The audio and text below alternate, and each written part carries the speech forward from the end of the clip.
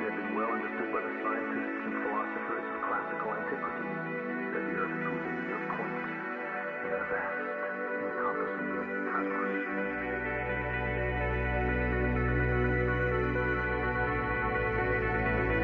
The Feynman Lilly Debate. Question What is the original sin of humankind? Answer Confusing our neurology for ontology. The human dilemma is that we have an innate tendency to conflate our current brain state with how reality, apart from ourselves, really is, forgetting in the process that our subjective experiences may be inaccurate or misleading representations of our objective surroundings. There are, of course, good evolutionary reasons for why this is the case, since in our struggle for survival, we have to rely on our mental maps, and take them seriously, in order to find food, ward or fight off enemies, secure housing, find mates, protect offspring, and so on.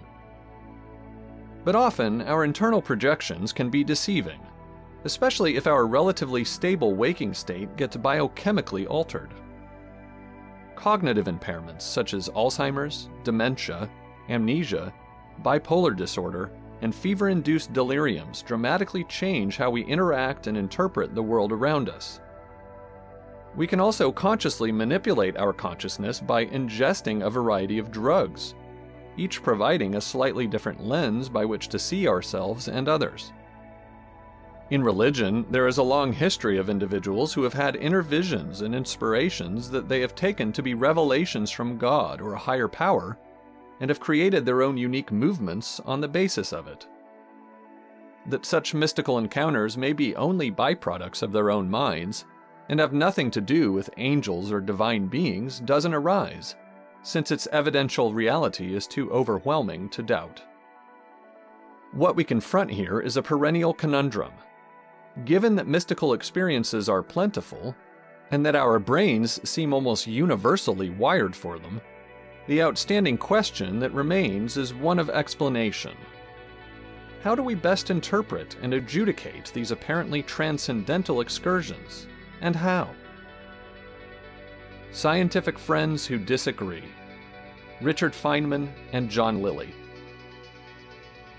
Richard Feynman, 1918 to 1988, is well known and well regarded for his contributions to quantum electrodynamics, or QED, for which he won a Nobel Prize in Physics in 1965, along with Sin Shinichiro Tomonaga and Julian Schwinger.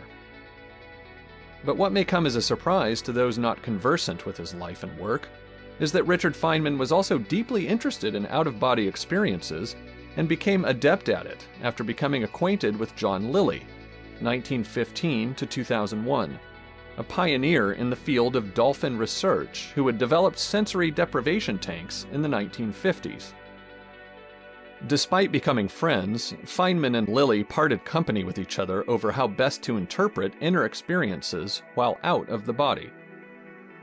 Feynman argued that all such phenomena were hallucinatory in nature, whereas Lilly felt that they revealed something far beyond the rational mind and the restrictive limits of empirical science.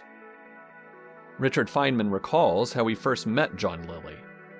I used to give a lecture every Wednesday over at Hughes Aircraft Company, and one day I got there a little ahead of time and was flirting around with the receptionist as usual when about half a dozen people came in a man, a woman, and a few others.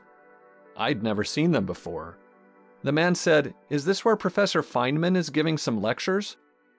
This is the place, the receptionist replied. The man asks if this group can come to the lectures. I don't think you'd like 'em much, I say. They're kind of technical. Pretty soon the woman, who was rather clever, figured it out. I bet you're Professor Feynman.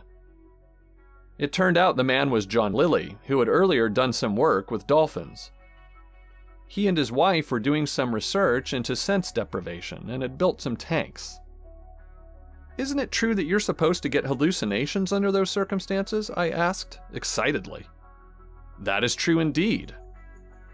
I had always had this fascination with the images from dreams and other images that come to the mind that haven't got a direct sensory source, and how it works in the head, and I wanted to see hallucinations. I had once thought to take drugs, but I got kind of scared of that. I love to think, and I don't want to screw up the machine. But it seemed to me that just lying around in a sense deprivation tank had no physiological danger, so I was very anxious to try it. I quickly accepted the Lilly's invitation to use the tanks, a very kind invitation on their part, and they came to listen to the lecture with their group.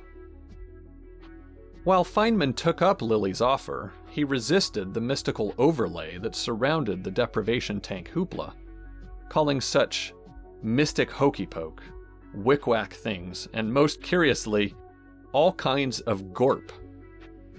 Yet, Feynman found his experiences deeply fascinating and enriching, despite his skeptical interpretations. With repeated sessions in the saltwater tank, he became adept at leaving his body and experiencing all sorts of intriguing phenomena. As Feynman recounts, I had many types of out of the body experiences. Nature isn't classical, damn it, and if you want to make a simulation of nature, you'd better make it quantum mechanical. Richard Feynman.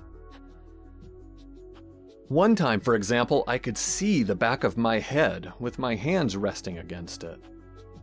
When I moved my fingers, I saw them move, but between the fingers and the thumb, I saw the blue sky. Of course, that wasn't right, it was a hallucination. But the point is that as I moved my fingers, their movement was exactly consistent with the motion that I was imagining that I was seeing. The entire imagery would appear and be consistent with what you feel and are doing, much like when you slowly wake up in the morning and are touching something and you don't know what it is and suddenly it becomes clear what it is. So the entire imagery would suddenly appear, except it's unusual in the sense that you usually would imagine the ego to be located in the front of the back of the head. But instead, you have it behind the back of the head.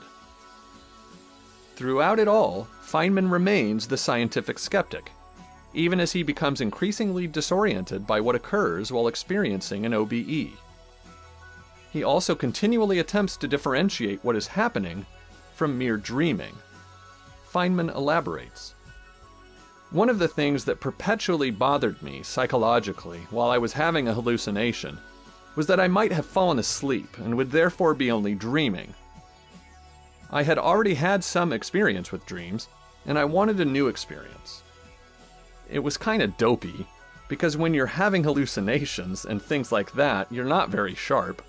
So you do these dumb things that you set your mind to do, such as checking that you're not dreaming. So, I perpetually was checking that I wasn't dreaming by, since my hands were often behind my head, rubbing my thumbs together back and forth, feeling them. Of course, I could have been dreaming that, but I wasn't. I knew it was real. After the very beginning, when the excitement of having a hallucination made them jump out or stop happening, I was able to relax and have long hallucinations. Notice that Feynman never actually believes that his experiences are anything more than fantastic, even if extraordinarily lucid hallucinations, a word he uses repeatedly when describing his exteriorizations. Because of this dismissive attitude, Lilly reprimanded Feynman in a letter and accused him of being non scientific. Interestingly, when John Lilly had mystical experiences of what he perceived as otherworldly beings in his sensory deprivation tank, after taking mind altering drugs such as ketamine, he argued strongly for their ontological objectivity. Whereas Richard Feynman, who had similar experiences as Lilly, they were friends, labeled his out of body excursions as hallucinations. Feynman's categorical dismissal miffed Lilly, who then criticized him in a personal letter with the terse rebuttal You stop being a scientist the instant you said that word, hallucination. Feynman countered Lilly's assertion by pointing out that whatever out of body experiences he was having, and Feynman recalls becoming very good at it, didn't correlate to the outside world. Even when undergoing the dissociation, he thought they did, it was for this reason that he tried to convince Lilly that the imagination that things are real does not represent true reality. If you see golden globes or something several times, and they talk to you during your hallucination and tell you they are another intelligence, it doesn't mean they're another intelligence. It just means that you have had this particular hallucination. I believe there's nothing in hallucinations that has anything to do with anything external to the internal psychological state of the person who's got the hallucination.